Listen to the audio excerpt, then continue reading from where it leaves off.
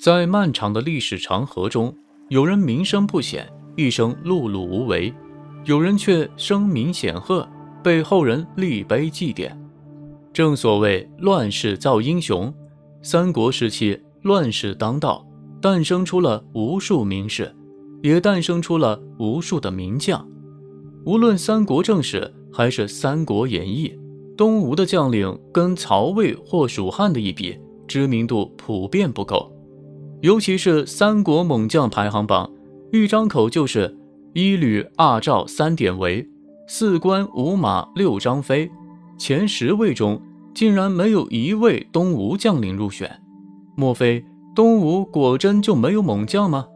当然有，东吴猛将甘宁就是最具特色的，以至于他的嚣张程度都丝毫不亚于蜀汉的关羽和曹魏的张辽。这里是风云争霸，本期视频我们一起来聊一聊三国时期的东吴猛将甘宁。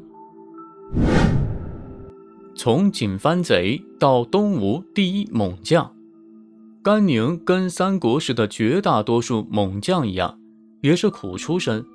比如关羽是逃犯，张飞是屠夫，张辽由于身处边塞，为了保命，自少年时开始就必须争强斗狠。这才混成了雁门郡的郡吏，而甘宁比较特殊，是从无恶不作的强盗，也就是海盗起家的。最初时，甘宁带着一帮兄弟混在西川，也就是刘璋父子的手下。身为江湖大哥，甘宁一贯讲江湖道义。倘若发现了客商，甘宁就要跟对方交朋友；倘若对方看不起自己，或是没有招待好，那就对不起了。是你不讲武德在先，灭之，强祸。所以甘宁做贼时，小日子过得很滋润。所谓少年不得瑟，老了没机会。甘宁也是如此。海盗船上锦作帆幔，头插漂亮鸟羽，身上佩戴铃铛，从来都是未见其人，却先见锦帆鸟羽，耳鼓中是铃铛声声让人惊。于是多年后。甘宁在江湖中就拥有了一个绰号“锦帆贼”，千万别小看绰号。三国时期有绰号的人都属于顶级大牛，如卧龙凤雏，还有三姓家奴、环眼贼之类的。如今又有了锦帆贼。倘若甘宁生活在治世，就凭他这嘚瑟劲头，绝对活不过三级。问题是，当时恰是三国乱世。就注定了甘宁如同关羽、张辽等人一样，依靠武力和努力是能够改变自己人生的。果然，几年后，甘宁意识到做贼绝非长久之计，而刘璋父子治下的西川又非英雄勇武之地，于是甘宁就带着手下离开西川，进入了荆州，依附于刘表。可惜甘宁还是年轻，那刘表是名士之资。号称荆州八郡之首，他如何能看得起贼人甘宁？因此，甘宁在刘表手下很郁闷，又自南阳跳槽到了夏口的黄祖手下，并在一次战斗中斩掉了东吴大将凌操。本以为立下如此大功，黄祖该有所表示吧？哪料黄祖却表示：“年轻人别太浮躁，须知留下你就是你的福报。”难道还不知足吗？甘宁无可奈何，一跺脚跳槽到了东吴。果然时来运转了。周瑜一见甘宁，就意识到这绝对是一个猛人。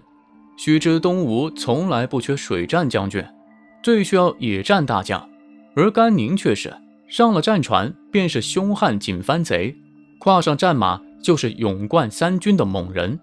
于是周瑜直接把甘宁引荐给了孙权。并得到了孙权的赏识，由此甘宁就跟了周瑜。果然，周瑜没看走眼。在东吴第一猛将太史慈去世后，甘宁就脱颖而出了，而且还是嚣张的直接宣称：“关羽他算个什么？我咳嗽一声就直接能吓瘫了他。”比关羽和张辽还嚣张。赤壁之战后，甘宁已经崭露头角。而且最让人意外的是，甘宁竟然读书了。当然，论读书这事，他比不过吕蒙，因为是孙权亲自劝学。至于甘宁开始读书，恐怕是受周瑜的影响或要求。在周瑜去世后，鲁肃当上了大都督。公元二一三年，曹操统兵再战江东，跟孙权对峙卢须口。这一次，孙权吸取了五年前合肥之战被张辽追击的教训，不再耍帅装酷，跑到战场上去指挥了。但五年前直接被干成孙十万的惨痛经历，却让孙权耿耿于怀。于是孙权便想先给曹操来个下马威，要偷袭曹营。可派谁前去？孙权毫不犹豫选择了甘宁。就这样，甘宁仅带着一百骑，悄悄摸至曹操军营，猛然一声大喝，甘宁带着这一百敢死队就策马冲入，一通战斗如风卷残云。曹操也被吓着了，以为是孙权亲统大军劫营。连忙组织人马进行防御，可怪事却发生了。刚才还人喊马嘶，到处呐喊声，如今却出奇的安静，怎么回事？原来甘宁已经带着一百敢死队回去了。孙权大喜过望，拉着甘宁的手说道：“曹操有张辽，我有甘兴霸，足以匹敌也。”这一战堪称是甘宁的成名战，从此东吴第一猛将冉冉升起。也让孙权心里有了底气。两年后，由于刘备得了西川，拒不执行之前的割让荆州的协议，孙权决定跟关羽翻脸。关羽一贯小事东吴，亲自统帅兵马前来驻扎在河边，并向鲁肃发出恐吓：“你们再敢唧唧哇哇，我就统兵过河，打爆你们东吴！”这一下子可让甘宁急眼了，对着愁眉不展的鲁肃。吼道：“别看我只有三百人马，但只要大都督再给我五百精兵，我就教关羽如何做人。”我就纳闷了，他有什么可牛的？只要我咳嗽一声，就能吓得他不敢妄动。鲁肃一拍大腿：“好，有种，给你一千精兵。”就这样，甘宁来了，积极备战设防。而关羽听闻甘宁统兵前来后，果真放弃了渡河计划。莫非关羽真的怕甘宁？非也，关羽本来就是恐吓战术，能吓瘫对方最好。既然如今没有得逞，何必打第一枪，不承担这次毁盟约的责任？这就是著名的甘宁咳嗽退关羽的由来。甘宁的嚣张和霸气似乎不亚于关二爷。同时，还必须要指出的是，甘宁并非仅是一员斗将。他也有非常靠谱的大战略。由于他曾在西川当过多年的海盗，深知西川的关键，曾多次向孙权提议灭掉刘璋，吞并巴蜀，再谋汉中。这跟周瑜的那个大战略是不谋而合的。可惜孙权就是不听。若当时孙权听从了，也就没刘备什么事了，直接被淘汰出局。此时，数百乌鸦围绕其尸。甘宁亡于何时？正史中一直存有争论，有的说亡于公元二一五年，有的说亡于二一九年至二二二年这个时间段。在《三国演义》中，甘宁则是亡于公元二二一年，也就是亡于刘备发动的夷陵之战中。接之在演义中。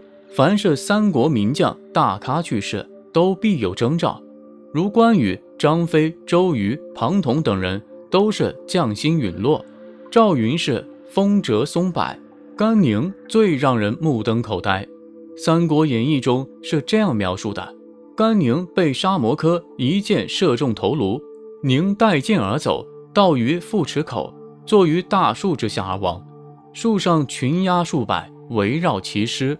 显然，这里出现了一个疑问：甘宁去世时，为何有这么多乌鸦围绕？到底有何寓意？其一，表示孙权的哀思。据《三国志》载，嘉禾七年九月，孙权看见宫殿前聚集了好多乌鸦，于是下诏：奸者赤乌集于殿前，正所亲见。若神灵以为嘉祥者，改年以以赤乌为元。显然，对于孙权而言，乌鸦是祥瑞神鸟，还用来当自己的年号，所以《三国演义》中甘宁去世时有乌鸦围绕，便是表达了孙权对甘宁的哀思。其二，对甘宁的尊崇。依照《三国演义》的逻辑，甘宁是被沙摩柯射中而亡的。为了不让甘宁的躯体被对手夺走，所以乌鸦围绕。事实上，起到了一种保护作用，毕竟三国时期乌鸦还属于吉祥神鸟，被民间尊崇。因此，对于迷信的三国时期的人来说，眼见甘宁去世后被乌鸦保护，自然也就不敢来夺其遗体了。故而，最终甘宁的遗体被东吴寻到了。吴王闻之，哀痛不已，据礼厚葬，立庙祭祀。其三。预示着甘宁去世后成神，《三国演义》中关羽是忠义化身，去世后成神来的最直接。去世后附体吕蒙报仇，捎带着回了趟西川向刘备告别，最后得到普净点化而成神了。甘宁也是一位忠义猛将，《三国演义》便在甘宁去世后给予了其一个完美交代，是一首诗歌。其中最后两句如下：“神鸦能显圣，香火永千秋。”这妥妥预示着甘宁去世后也跟关羽一样成了神。到了宋代，皇帝大加追封历史上的神人，而甘宁因为被神压环绕，也被封为了神奇。南宋时期，甘宁又被加封为昭义武会浅爱灵显王。更添神秘色彩。不知道大家对甘宁这位大将有什么样的评价？欢迎各位在评论区留言。我们下期再见。